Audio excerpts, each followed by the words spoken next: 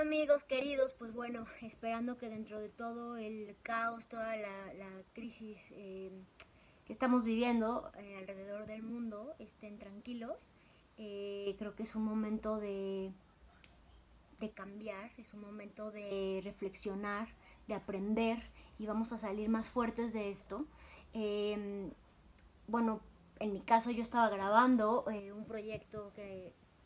la verdad me tiene muy, muy emocionada, eh, pero ya llevo casi 10 días, eh, o más bien 10 días, creo que hoy es, eh, aquí guardada en mi casa, pospusieron las grabaciones, al igual que, al igual que han pospuesto muchos proyectos,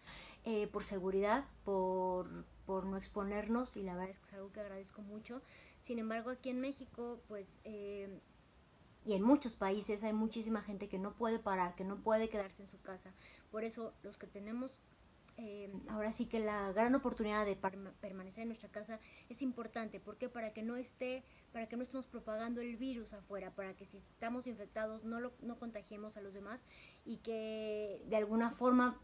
tratemos de que sea lo menos posible este golpe hacia eh, la salud en, en México, eh, mandarle todo, todo mi amor a toda la gente que está pasando esto, a la, gente, a los doctores, a las enfermeras, a toda la gente que está en los hospitales, que de verdad ahorita son nuestros héroes, mandarles mucho, mucho amor, decirles que están en mis oraciones, toda la gente que ha perdido familiares de todo, todo el mundo, creo que hay que mandar mucha luz, hay que aprovechar para crear, para leer, para meditar, para,